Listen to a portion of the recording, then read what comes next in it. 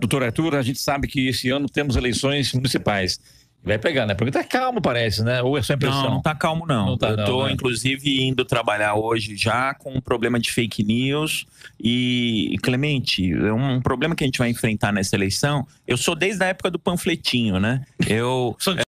Não, panfletinho anônimo. Tinha ah, tá, as fake tá. news já existiam. Eles soltavam um panfletinho falando mal do candidato, eh, panfletinho apócrifo. É, e aí fazia o quê? Pegava a rua de comércio no sábado, é, colocava uns molequinhos para distribuir. E em uma hora estava distribuído, estavam distribuídos os panfletinhos e faziam um estrago.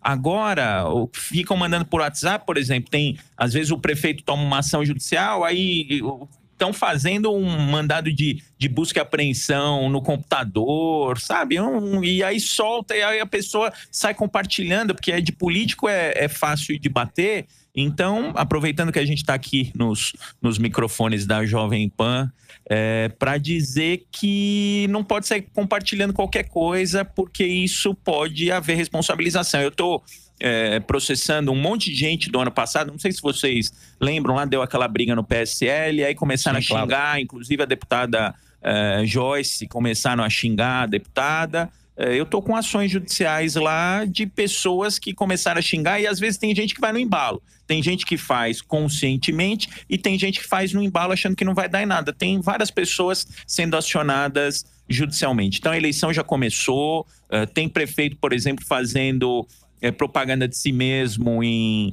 é, site de prefeitura, colocando o nome no site da prefeitura, o que não pode, é, usando dinheiro público para se promover, o que também não pode. É, enfim, todo mundo tem que fiscalizar, quem está de fora tem que fiscalizar é, e quem está dentro tem que tomar cuidado para não fazer coisa errada. Quem compartilha também sofre consequência. Quem compartilha notícia falsa sofre consequência. Quem compartilha xingamento tá, tá assim um abuso. Sai todo mundo xingando, né? Você, você não concorda com o comentário do outro, você sai xingando, é. sai é, enxovalhando a honra de, de uma pessoa. Então, é, primeiro, não sair adjetivando as pessoas nas redes sociais. Todo mundo tem o direito de ter o seu, a sua opinião, de fazer é, o seu comentário e é, vamos respeitar o comentário dos outros e não sair compartilhando fake news. Checar a notícia antes de compartilhar. Kiko?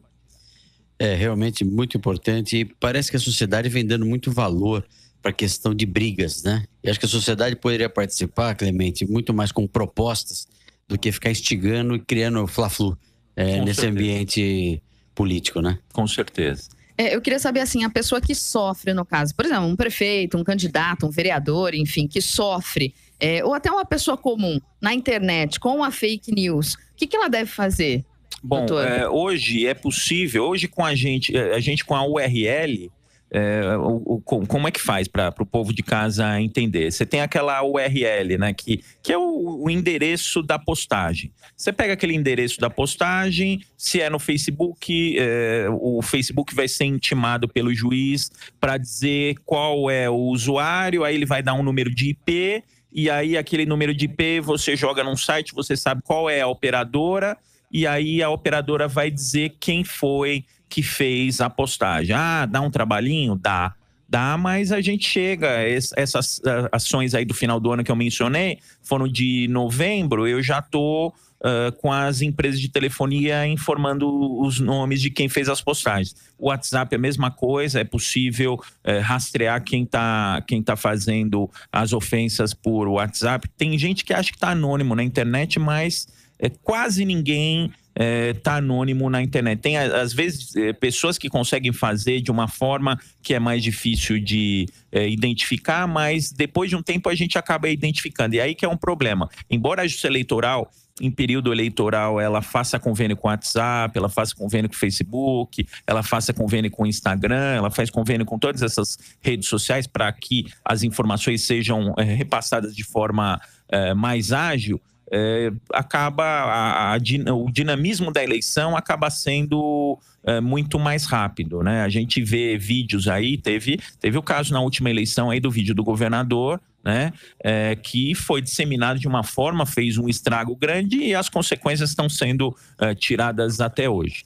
Doutor, é, com relação ainda às eleições desse ano, justiça eleitoral, já tem alguma mudança? O que vai acontecer? Porque não pode mais fazer coligação? É, proporcionais. Antes, o que ia acontecer? Você tinha é, quatro, cinco partidos que unidos. Para quem não sabe que eleição proporcional é eleição é, é para vereador. No caso, para vereador. Então, para prefeito, é eleição majoritária. É, para prefeito, a eleição majoritária continua tendo coligação. Então, São José dos Campos deve ter TV, né? Tem TV aqui em São José, tem, tem, tem, tem. tempo de televisão. Então, por exemplo, eles unem, eles fazem a coligação para aumentar o tempo de televisão e também tem a questão do, do fundo de, de financiamento de campanha para poder é, compartilhar. Agora, para vereador, é, você vai ter que lançar o partido sozinho. O partido não vai. Os partidos não vão ser reunidos e funcionar como um só partido, o que é a coligação. Ah, os partidos vão concorrer é, sozinhos. Então vai dar um pouquinho mais de trabalho para montar a chapa. Uma coisa que a gente estava discutindo lá, lá no escritório, porque isso é novo para a gente também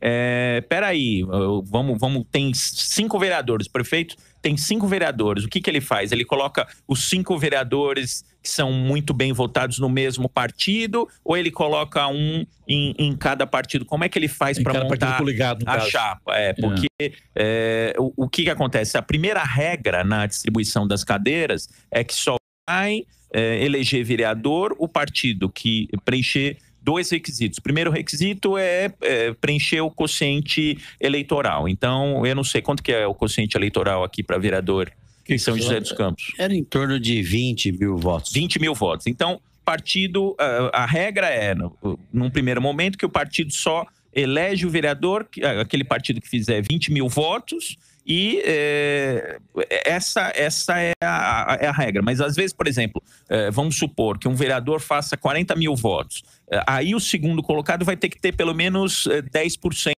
eh, dos votos. Então, para não ter aquilo que aconteceu, por exemplo, com o Enéas, que você. É, o Enéas acabou elegendo um deputado federal com 500 votos. Então, é, o, o, segundo colocado, para ele ter direito à cadeira, nesse caso aí que eu mencionei, ele vai ter que ter pelo menos 10% dos votos. Aí vocês vão fazer a pergunta, mas peraí, um partido que não faça o quociente eleitoral pode fazer uma cadeira? Pode nas sobras. Então, por isso que eu falei que tem que tomar cuidado, porque é, qual é o critério? Uma, uma formulazinha, depois que é, deram as cadeiras para aqueles partidos que fizeram o, o quociente eleitoral, o que vai acontecer é que tem que fazer uma formulinha para calcular as sobras. A fórmula para calcular a sobra, você vai pegar os votos daquele partido, é, vai pegar o número de cadeiras daquele partido mais um.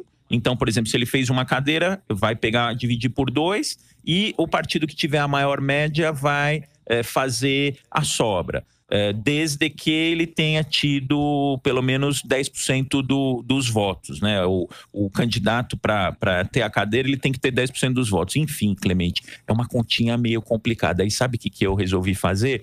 Eu pedi para um amigo meu que é da área de informática calcular um simulador.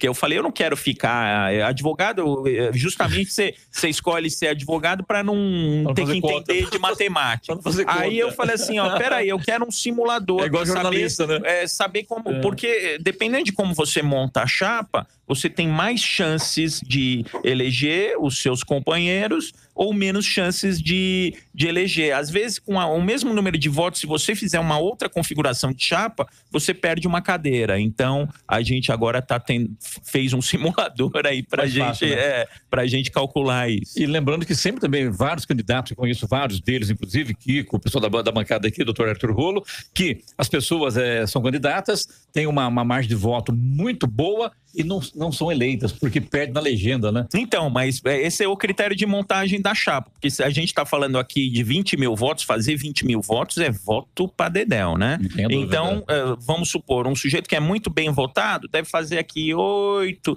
10 mil votos, é muito bem votado. Se ele ficar sozinho no partido, e o partido não fizer ao todo 20 mil votos, ele está fora. Ele tá fora Foi vai, entrar, votado. vai entrar na sobra. Vai entrar. Entra um outro com mil votos, é, dois mil votos, é, e ele com oito mil é, não é eleito, né? É, não, na verdade, com mil votos ele não vai entrar, ele tem que fazer pelo menos é, é, dois mil votos para para poder entrar, mas vai correr o risco de um entrar com dois mil votos, mas isso já acontecia, né? Na sua então, opinião, como jurista, essa lei da, da, eleitoral, ela é justa ou não? Não, eu acho que eu acho que sim, eu acho que é um.